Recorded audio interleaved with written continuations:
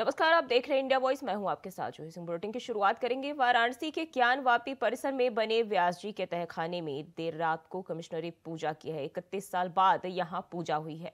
कल ही कोर्ट का ऑर्डर आया था। अदालत के फैसले के कुछ ही घंटों के बाद सारे इंतज़ाम कर लिए गए। विश्वनाथ मंदिर के मुख्य पुजारी ओम प्रकाश मिश्रा और अयोध्या में रामलला के प्राण प्रतिष्ठा का शुभ मुहूर्त निकालने वाले गणेश्वर द्रविड़ ने पूजा कराई है। मंडल आयुक्त कौशल राज शर्मा, काशी विश्वनाथ मंदिर ट्रस्ट के पदेन अध्यक्ष भी हैं, इसलिए पूजा पर बैठे रहे और इस दौरान वाराणसी के जिलाधिकारी एस राजलिंगम ने ज्ञानवापी से निकलते समय कहा कि कोर्ट के ऑर्डर का पालन किया गया है। वहीं पुलिस कमिश्नर अशोक मुथा जैन ने स्पष्ट रूप से बताया कि कानून व्यवस्था के पालन की पूरी तैयारी हो गई है। काशी विश्वनाथ मंदिर में स्थित नंदी में, नंदी के सामने बैरिकेडिंग का हिस्सा हटाया गया है। रात के समय से ही सुरक्षा व्यवस्था कड़ी हो गई थी। पूरा परिसर छावनी में तब्दील हो गया है।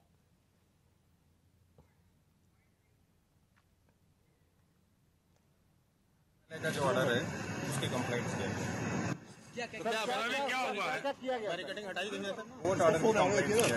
लेकिन बहुत गौरवानी क्षण लग रहा है।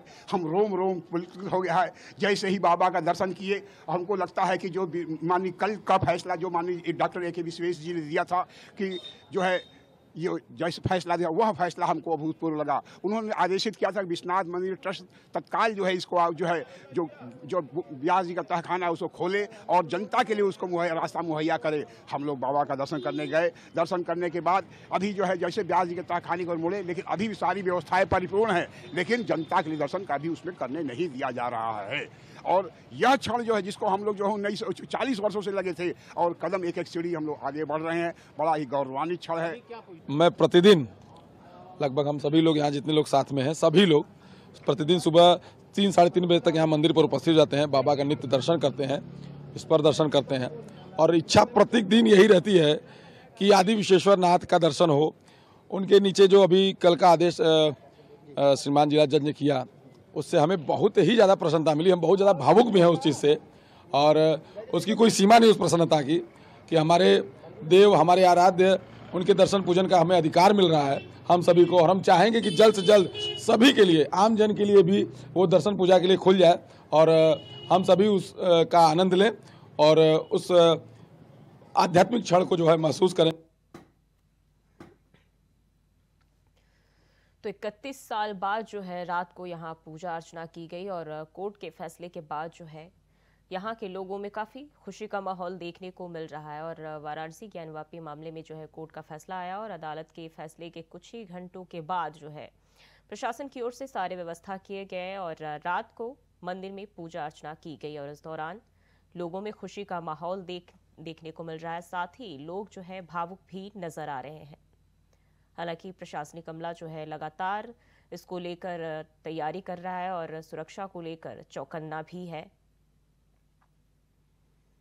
तो इकतीस साल बाद, जो कि एक बहुत ही लंबा अरसा है और इस दौरान जो है इसके बाद जो है पूजा अर्चना लोगों ने यहाँ की है। और ज्ञानवापी के व्यास जी तहखाने में पूजा करने का जो है कोर्ट की ओर से फैसला आया और जिसके बाद पुलिस प्रशासन की मौजूदगी में पूजा अर्चना की गई।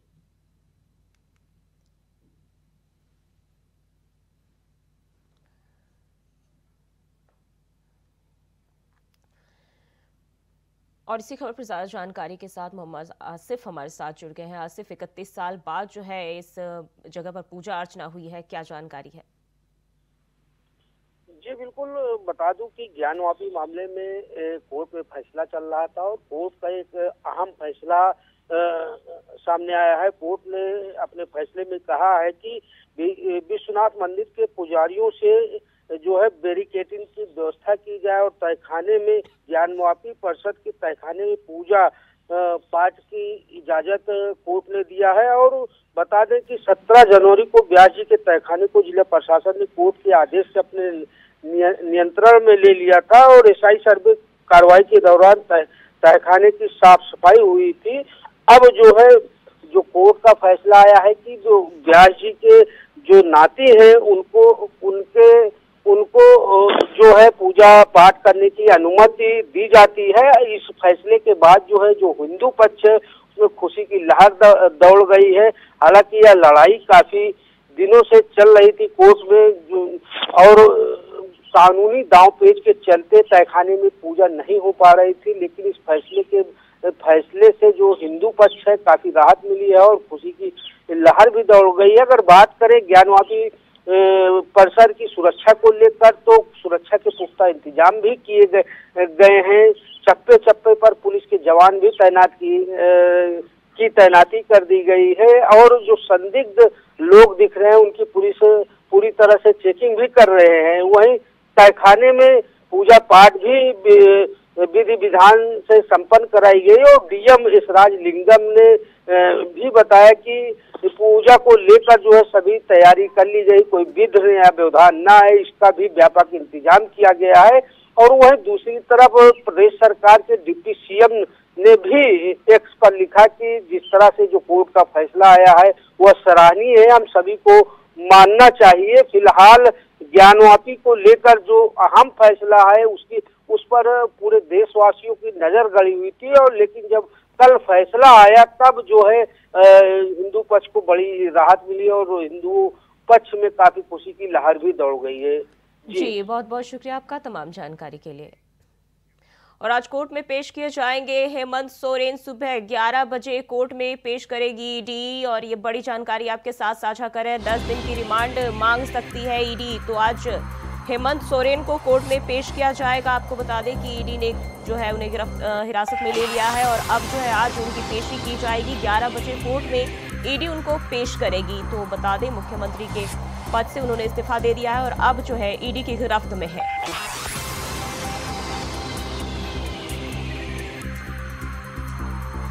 और इसी खबर पर ज़्यादा जानकारी के साथ अजय कुमार पांडे रांची से हमारे साथ जुड़ गए अजय क्या जानकारी है? सुबह 11 बजे ईडी जो है उनको कोर्ट में लेकर जा रही है। जी बिल्कुल। आ, कल ईडी की जो ईडी जो है अपने संवैधानिक पदों का गरिमा रखते हुए इस्तीफा के बाद वो हेमंत सोरेन को गिरफ़्तार करके लेके चला गया है। चलिए गए। अब आज कल कल रात वो उनको कोर्ट कैंप में ही रखा गया है। पूछताछ भी की गई होगी। आज उनको हाईकोर्ट में उनकी पेशी है मतलब वो हेमंत सोरेन ने जब गिरफ़्तार हुए, गिरफ़्तार के बाद वो हाईकोर्ट में अपनी चुनौती दी ईडी की कार्रवाई को लेकर के। और इस इसे लेकर के आज आज सुनवाई भी है। आज एक बजे क्षमा चाहेंगे, ग्यारह बजे आज उनकी कोर्ट में पेशी होने वाली है। और ये, इसके बाद अब आगे की क्या रणनीति बचे सत्ता किस प्रकार से होगा? क्योंकि कल राज्यपाल, आपको हम ये भी बता दें कि कल राज्यपाल इस्तीफे के बाद से वो हेमंत सोरेन यानी सत्तारूढ़ सरकार की ओर से शपथ के लिए भी प्रस्ताव भेजा गया था, लेकिन हालाँकि राज्यपाल ने उन्हें अभी समय देने से थोड़ा सा इनकार किया है उन्होंने उनके, उनको वक्त चाहिए था। क्योंकि ये देखिए, आपको ये पहले इनसाइड स्टोरी जानना पड़ेगा कि पहली बार सोरेन परिवार से सत्ता बाहर निकल गई है। अब इसी सदमे में है इस लेकर के तो इस प्रकार से चीज़ें देख सकते हैं कि झारखंड जो है हमेशा भ्रष्टाचार की अजय बहुत बहुत शुक्रिया आपका तमाम जानकारी के लिए। और हेमंत सोरेन को गिरफ़्तार कर लिया गया है। इसको लेकर बीजेपी के विधायक अमित मंडल से खास बातचीत की इंडिया वॉइस ने क्या कुछ कहा चलिए सुनाते हैं। हमारे साथ जुड़ गए हैं बीजेपी विधायक हैं। अमित जी बहुत बहुत स्वागत है इंडिया वॉइस में आपका। नमस्ते। अमित जी खबर तो आप तक पहुँच गई होगी। जो चाहा आपको मिल गया मुख्यमंत्री ने इस्तीफा दे दिया। नहीं ये हमारी चाहत और किसी और की चाहत नहीं है संवैधानिक चीज़ें हैं। और संवैधानिक चीज़ों में अगर मुख्यमंत्री के कोई इल्ज़ाम लगता है हम्म। तो निश्चित तौर पर त्याग पत्र उनका होता है और नई सरकार बनती है जो हो रहा है तो इसमें तो संविधान ने अपना काम किया है इसमें किसी के चाहने ना चाहने से कुछ नहीं, नहीं ऐसा तो कई इल्ज़ाम आपने पहले भी लगाए ना लेकिन इस बार दबाव कुछ ज़्यादा हो गया लग रहा है। देखिए इल्ज़ाम पहले भी लगाए हम लोगों ने सबूत के साथ इल्ज़ाम लगाए और विपक्षी पार्टी होने के नाते ये कर्तव्य बनता है कि जहाँ पर भ्रष्टाचार हो रहा है उन चीज़ों को उजागर कर तो फिर विपक्षी पार्टी किस काम का। हम्म। इसीलिए मुझे ऐसा लगता है कि जो हुआ है नियम के नियम संगत हुआ है और जो होगा भविष्य में भी वो भी नियम संगत लेकिन विधायक जी चंपाई सोरेन को मुख्य नया मुख्यमंत्री चुना गया है। अभी सूचना मुझे ऐसी आई है कि चंपाई सोरेन को नए मुख्यमंत्री के लिए सत्ता पक्ष ने प्रस्ताव किया है। अभी देखिए आगे क्या होता है। अभी सीएम साहब मिलने भी गए हैं राजभवन से। तो ये राजभवन को अब निर्णय लेना है कि विधायक दल के नेता कौन होंगे और कब शपथ ग्रहण होगा यदि हुआ तो। नहीं यदि हुआ तो मतलब मैं समझा नहीं आपकी बात। मतलब अभी लंबा है संघर्ष। अभी इतनी जल्दी हम निष्कर्ष में नहीं पहुँच सकते हैं। अभी तो सभी विधायकों को जो मेरी जानकारी है वो सीएम राजभवन में मिलने नहीं दिया गया तो मुझे लगता है कि जब वो लोग परेड करेंगे अपनी संख्या को दिखाएँगे हाँ। और। संख्या में बहुमत आएगा तो उसके बाद ही आगे का कुछ निर्णय आप होगा लोगों अभी तो क्या मांग है इस पूरे क्योंकि खबर ही आ रही है आप लोग चाह रहे हो राष्ट्रपति शासन लगा दिया राज्य में नहीं निश्चित तौर पर हम लोगों का यह मानना है कि जिस प्रकार से उनकी पार्टी के अंदर अंतर कला है और उनकी पार्टी के अंदर सामंजस्य नहीं बैठ पाया है तो अ, मुझे लगता है कि मेजोरिटी की तरफ़ ये सरकार नहीं है और जब मेजोरिटी की तरफ़ ये सरकार नहीं है तो एक संवैधानिक क्राइसिस बन गई और जिस क्राइसिस में राष्ट्रपति शासन लागू होना ही चाहिए मेरे ख्याल से तो। नहीं विधायक दल का नेता चुना गया है तो आपको ये अभी भी संशय है कि पार्टी नहीं नहीं विधायक दल का नेता चुनना अलग है और मेजोरिटी दर्शाना अलग बात है। मेजोरिटी जब तक नहीं दर्शाया जाएगा और जब तक मेजोरिटी के लिए पूरे विधायकों को परेड नहीं कराया जाएगा तब तक हम ये नहीं मान के चलेंगे कि उनको पूरे मेजोरिटी का साथ सहयोग है और वो सरकार बनाने की स्थिति में। तो ये तो स्थिति आपको ये संशय है कि क्या सीता सोरेन या फिर बसंत सोरेन बगावत कर रहे हैं नहीं देखिए जिस प्रकार से उन लोगों को खाली पेपर में साइन कराया गया है जिस प्रकार हाँ। से विधायकों को खाली पेपर में साइन कराया गया है और जिस प्रकार से सीता सोरेन जी और बसंत जी का स्टेटमेंट आ रहा है उससे साफ़ जग ज़ाहिर है कि उनके अंदर में सामंजस्य नहीं बैठ पाया है। और जब सामंजस्य नहीं बैठ पाया है तो कांग्रेस हो या जेएमएम हो या आरजेडी हो किस करवट बदलेगा कौन किस करवट बैठेगा ये कहना मुश्किल है। अमित जी विधायक जी आपका बीजेपी का बी प्लान क्या है? प्लान बी क्या है? नहीं बीजेपी का बी और ए प्लान है ही नहीं। बीजेपी तो शुरू से भ्रष्टाचार के विरुद्ध में लड़ रही है और भ्रष्टाचार के विरुद्ध में लड़ने में का ये नतीजा है कि आज यहाँ के जनता को जस्टिस मिला है। जिस मुख्यमंत्री ने अरबों खरबों का घोटाला किया था आज ईडी ने अपनी दबिश बढ़ाई है और ईडी ने जब दबिश बढ़ाई है तो आप परिणाम आपके सामने लेकिन आ, अगर राज्यपाल के अ, और आप बहुमत का एक ज़िक्र कर रहे हैं वो बहुमत का आंकड़ा दिखाकर अगर संवैधानिक नज़रिए से क्योंकि अगर चंपाई सोरेन को मुख्यमंत्री की ताजपोशी मिल जाती है तो फिर इसे आप किस नज़रिए से देखते हैं? क्या बीजेपी अपनी तरफ़ से कोई प्रयास करेगी? बीजेपी बीजेपी संवैधानिक तरीके से चलना पसंद करती है और संविधान ये कहता है कि मेजोरिटी जिसके पास होगा सरकार उसकी बनेगी। ना खरीद के ना फिरोक के ना डर से ना धमका के ये जो जेएमएम की सरकार है कुछ भी कभी भी कर सकती है। तो जब तक राजभवन में अपने मेजोरिटी को दर्शाया नहीं जाएगा। विधायक जी यानी गिरफ्तारी लगभग तय हो चुकी है। नहीं ईडी की गिरफ्त गिरफ्तारी में अभी ऐसी घोषणा नहीं हुई है। नहीं, नहीं, हिरासत में वो खुद कह रही है। ईडी के नहीं वो क्या कह रही है मैं ये इस पे कमेंट नहीं कर पाऊँगा। ईडी ने उनको जो मेरी जानकारी है ईडी ने उनको राजभवन लिया है उनको राजभवन ले गए हैं और वहाँ पे उनकी मुलाकात गवर्नर साहब से हो रही है। अब हो सकता है वो अपना त्याग पत्र दे रहे हो या हो सकता है कुछ अन्य चीज़ें हो, लेकिन डिटेन करना और गिरफ्तारी करना अभी के डेट में मुझे लगता है कि जल्दबाजी होगी। जब तक कुछ ऑफिशियल जानकारी नहीं आएगी तो इस पर मैं कमेंट नहीं कर विधायक जी, आप लोगों को अगर मौका मिले तो सरकार बनाने का प्रयास करेंगे? वो अंतरात्मा की आवाज़। टाइप का? नहीं देखिए कोई भी राजनीति जब जब राजनीति करता है तो सरकार बनाने के ही मकसद से करता है। हाँ। तो इसमें अ, मौका मिलेगा मौका मिलने का मतलब है मेजोरिटी हमारे हाथ में होगी। और जब मेजोरिटी हमारे हाथ में होगी निश्चित तौर पर कोई भी सरकार बनाने के लिए कवायद कर लेकिन नंबर गेम में तो आप बहुत पीछे हैं झारखंड में।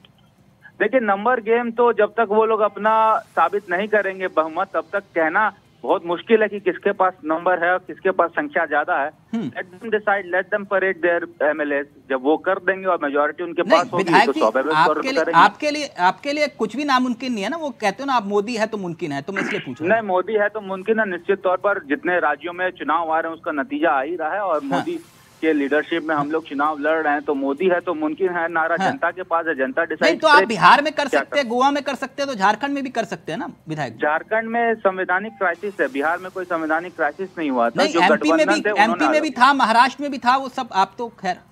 एमपी में जो हुआ था तो बकायदा उन्होंने रिजाइन करके चुनाव लड़के फिर से मेजोरिटी साबित किया था। वो सिचुएशन हम्म। अलग और झारखंड का सिचुएशन अलग है।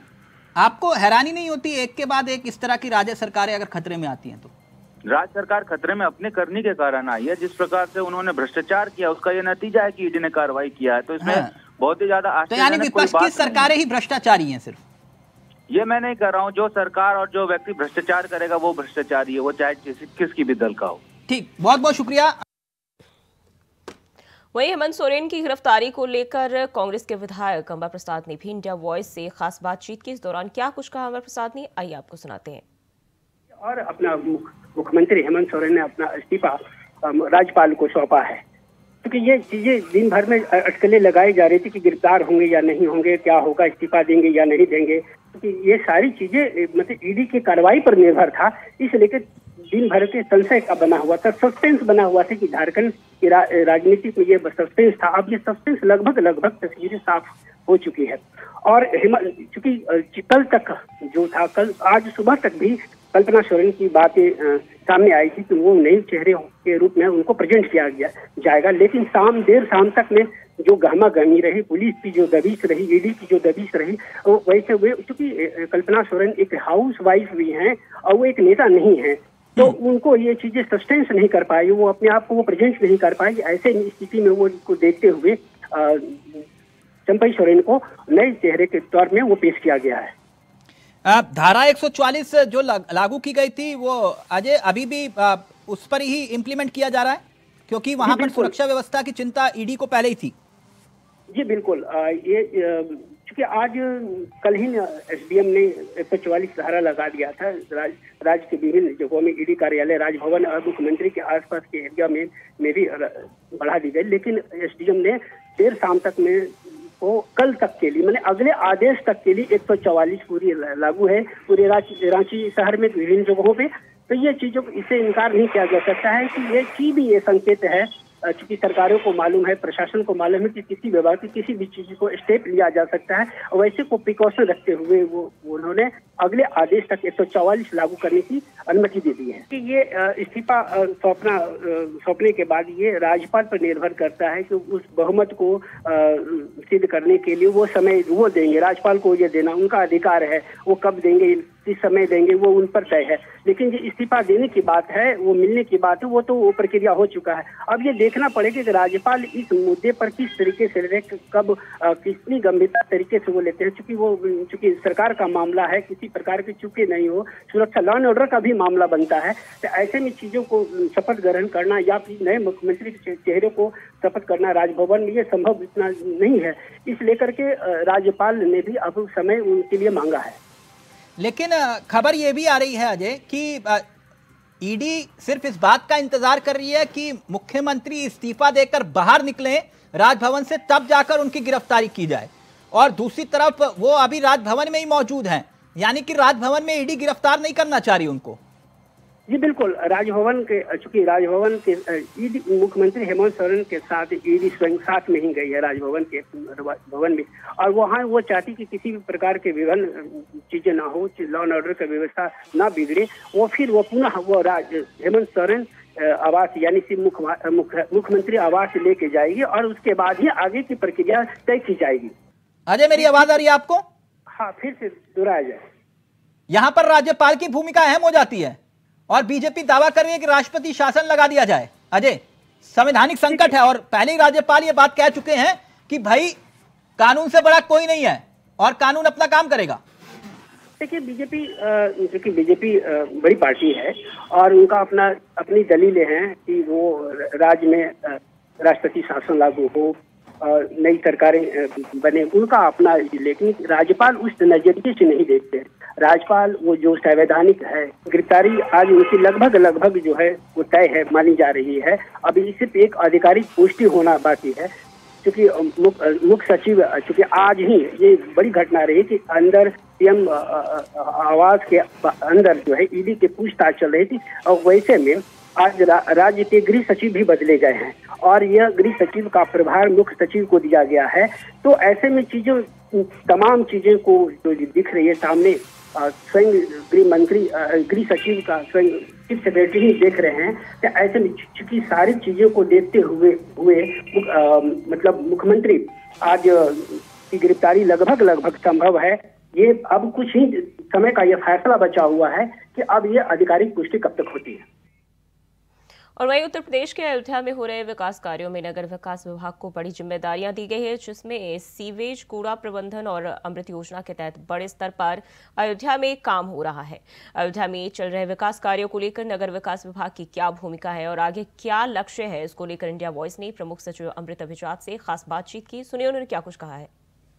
अयोध्या में राम मंदिर निर्माण की कवायद से लेकर अब तक अयोध्या को अंतर्राष्ट्रीय स्तर पर डेवलप करने की जो कवायद है, वो तेज़ी के साथ चल रही है और इसमें नगर विकास विभाग जो है, वो अपनी एक अहम भूमिका निभा रहा है। हमारे साथ बात करने के लिए नगर विकास विभाग के प्रमुख सचिव अमृत अभिजा जी हैं। सर, अयोध्या को लेकर बात की जाए चूँकि उसको अंतर्राष्ट्रीय स्तर पर डेवलप करने की बात की तो ऐसे में नगर विकास विभाग की भूमिका काफ़ी अधिक बढ़ जाती है। तो क्या कुछ प्रमुख चीज़ें वहाँ पर की जा रही है? देखिए, सबसे प्रमुख तो ये है कि अमृत स्कीम के अंतर्गत हम लोग 24 फोर बाय सेवन वाटर का अरेंजमेंट वहाँ पे कर रहे हैं। ये उड़ीसा में प्लान किया गया था और देश और विदेश में प्रमुख नगरों में ये रहता है। तो डिमांड बेस्ड वाटर सप्लाई रहेगा, जिसके माध्यम से कि जो भी सैलानी आएँगे और वहाँ पे जो लोग रहते हैं अयोध्या में, उनको हमेशा पानी की उपलब्धता रहेगी। इससे बेटर प्रबंधन भी होता है वाटर का और एक अच्छे सुविधा के अंतर्गत लोगों को मिलता भी है। इसके साथ साथ सीवर का जो अरेंजमेंट है वो हम लोग टोटल कर रहे हैं। और जो सड़कें जो बिछाई जा रही हैं, वो हम लोग ये कोशिश कर रहे हैं कि जो अंडर डेवलप्ड एरियाज़ थे वहाँ के, वहाँ पे भी उसका पूरा प्रबंध हो जाए, चाहे नगर सृजन योजना के माध्यम से हो, चाहे सीएम ग्रिड्स के माध्यम से हो, या मलिन बस्तियों के लिए जो हम विशेष योजना चलाते हैं उसके माध्यम से। तो एक टोटल अप्रोच लेके चल रहे हैं, ताकि वहाँ पर ऐसी कोई बात ना रह जाए कि लोग कहीं भी जाएँ तो उसको एक अच्छी सुविधा का एहसास मिले, ये हो।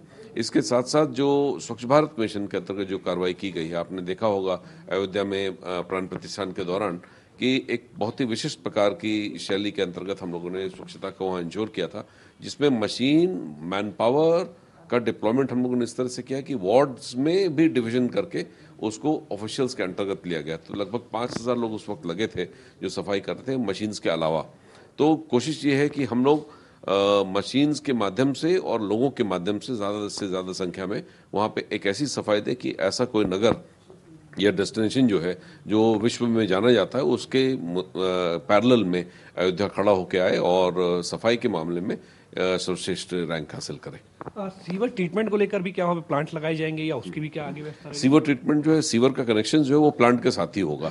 तो एस और एसटीपी में हमारी ये कोशिश है कि वो सोलर ऑपरेटेड होगी, क्योंकि सोलर सिटी की घोषणा माननीय मुख्यमंत्री जी के द्वारा की गई है। तो हमारे प्रयास है कि जो फैसिलिटीज़ है, क्योंकि एसटीपी और डब्ल्यू दोनों में ही बिजली की खपत ज़्यादा होती है। तो अगर वो सोलर नेट ज़ीरो हो जाएगा, अगर हम लोग सोलर से यूज़ करेंगे तो एक तो बिजली की खपत में जो व्यवहार आता है कॉरपोरेशन पे, वो भी कम होगा। और साथ साथ एक भविष्य की रणनीति के अंतर्गत जो है सोलर पावर को बढ़ावा देते हुए इस कार्य को किया जाना है। सर चूँकि बड़ी संख्या में वहाँ पे राम भक्त भी पहुँच रहे हैं लाखों की संख्या में हमने देखा बाईस तारीख के बाद से हर रोज जो फिगर है वो बड़ा है। तो ऐसे में कूड़ा प्रबंधन को लेकर क्या कुछ व्यवस्था होंगी? चूँकि एक बड़ा जब बड़ी ज़्यादा संख्या में लोग आएँगे तो इसको भी बढ़ने की जो संभावना है वो काफ़ी बढ़ जाती है। तो उसको लेकर क्या कुछ कूड़ा प्रबंधन जो स्ट्रेटेजी चेंज हम लोगों ने अयोध्या के लिए किया कि नॉर्मली एक बार या दो बार की सफ़ाई होती है, वहाँ पे में लोग तीन बार इंश्योर कर रहे हैं। और जो संख्या वहाँ पे दिया है, वो क्योंकि बाहर के बहुत लोग हैं, क्योंकि जो फॉर्मुलेशन है, उसके हिसाब से अगर अयोध्या को देंगे तो उतनी ज़्यादा वहाँ की अभी आबादी नहीं है। परंतु जब सैलानियों को हम ले लेते हैं साथ में तो उन पे बहुत ज़्यादा लोड है वहाँ के म्यूनिसिपल वेस्ट सिस्टम्स पे।